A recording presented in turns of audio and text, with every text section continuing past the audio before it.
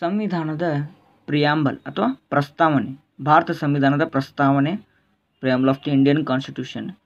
ಇಲ್ಲಿ ಒಂದು important number ಏನಂತಂದ್ರೆ ಮೂಲ ಪ್ರಸ್ತಾವನೆಯಲ್ಲಿದ್ದ ಪದಗಳ ಸಂಖ್ಯೆ ಎಂಟು. ಅಂದ್ರೆ ಸ್ಟಾರ್ಟಿಂಗ್ ಸಂವಿಧಾನ ಬರೆದಾಗ ಅದ್ರೊಳಗಿದ್ದಂಥ ವರ್ಡ್ಸ್ ಬಳಸಿದ್ದು ಅಂದರೆ ಎಂಟು ಇದ್ದು ರೀ. ಈಗ ಸದ್ಯ ಪ್ರೆಸೆಂಟ್ ಹೋಗಿ ಹನ್ನೊಂದಾಗ್ಯಾವ ಎದಕ್ಕಂತ ಹೇಳ್ತೀನಿ ಮೊದಲು ನೋಡ್ರಿ ಆ ಎಂಟು ಪದಗಳು ಯಾವ್ಯಾವ್ದು ಅಂತಂದ್ರೆ ಭಾರತದ ಪ್ರಜೆಗಳಾದ ನಾವು ಸಾರ್ವಭೌಮ, ಪ್ರಜಾಸತ್ತಾತ್ಮಕ, ಗಣತಂತ್ರ, ನ್ಯಾಯ, ಸ್ವತಂತ್ರ, ಸಮಾನತೆ, ಭ್ರಾತೃತ್ವ ಅಂತೆ ಟೋಟಲ್ ಎಂಟು ಪದಗಳು ಸ್ಟಾರ್ಟಿಂಗ್ ಬರ್ದಾಗ ಇದ್ದು ರೀ ಅದಾದಮೇಲೆ ನಲವತ್ತೆರಡನೇ ತಿದ್ದುಪಡಿ ಆಯ್ತು. ನಲವತ್ತೆರಡನೇ ತಿದ್ದುಪಡಿ ಒಳಗೆ ಮೂರು ಹೊಸ ಪದಗಳನ್ನ ಅದಕ್ಕೆ ಸೇರಿಸಿದ್ರು. ರೀ ಯಾವ್ಯಾವ ಅಂತಂದ್ರೆ ಸಮಾಜವಾದಿ, ಜಾತ್ಯತೀತ, ಐಕ್ಯತೆ. ಸೊ ಇಂಪಾರ್ಟೆಂಟ್ ನಂಬರ್ಸ್ ಯಾವ ಅಂತಂದ್ರೆ ಮೂಲ ಪ್ರಶ್ನೆ ಎಂಟಿದ್ದು, ನಲವತ್ತೆರಡನೇ ತಿದ್ದುಪಡಿ ಆಯಿತು. ಹನ್ನೊಂದು ಪದಗಳದು ಮೂರು ಮೂರು ಪದಗಳು ಯಾವಂದ್ರೆ ಸಮಾಜವಾದಿ, ಜಾತ್ಯತೀತ ಮತ್ತು ಐಕ್ಯತೆ. ಇಲ್ಲಿ ಕೆಳಗೆ ನೋಡೋಣ ಮತ್ತು ಇಂಪಾರ್ಟೆಂಟ್ ನಂಬರ್ಸ್ಗಳು ಕೇಂದ್ರ ಮತ್ತು ಭೂಪ್ರದೇಶಗಳಿಗೆ ಸಂಬಂಧಿಸಿದ ಅಂಕಿ ಅಂಶಗಳು.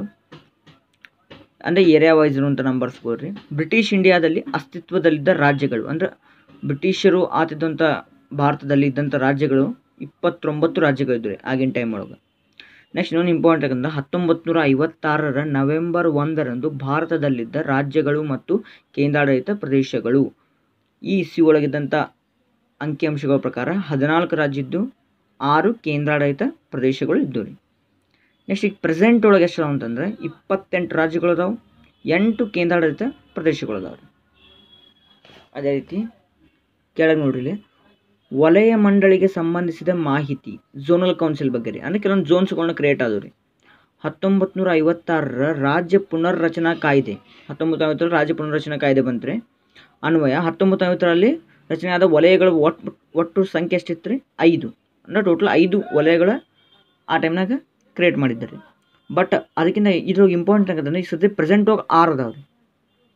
ಪ್ರೆಸೆಂಟ್ ಹೋಗಿ ಆರು ಅದಾವೆ. ಒಂದನ್ನು ಆ ಟೈಮ್ನಾಗ ಹಿಡಿದಿದ್ದಿಲ್ಲ ರೀ ಈಗ ಜಸ್ಟ್ ಹೊಸದಾಗಿ ಆ್ಯಡ್ ಮಾಡಿದ್ದಾರೆ.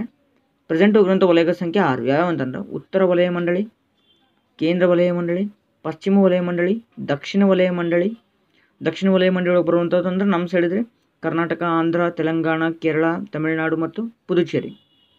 ಅದೇ ರೀತಿ ಪೂರ್ವ ವಲಯ ಮಂಡಳಿ, ಈಶಾನ್ಯ ವಲಯ ಮಂಡಳಿ. ಇದ್ರೊಳಗೆ ಯಾವುದಂತಂದರೆ ಹತ್ತೊಂಬತ್ತು ನೂರ ಎಪ್ಪತ್ತೊಂದರಲ್ಲಿ ಸಂಸತ್ ಕಾಯ್ದೆ ಮೂಲಕ ಆರನೇ ವಲಯ ಸೇರ್ಪಡೆ ಆಯ್ತು ಅದು ಯಾವುದು ಅಂತಂದರೆ ಈಶಾನ್ಯ ವಲಯ ಮಂಡಳಿ. ಇದು ಹತ್ತೊಂಬತ್ತು ಎಪ್ಪತ್ತೊಂದರಲ್ಲಿ ಸಂಸತ್ ಕಾಯ್ದೆ ಮೂಲಕ ಇದೊಂದನ್ನು ಸೇರ್ಪಡೆ ಮಾಡಿದ್ದಾರೆ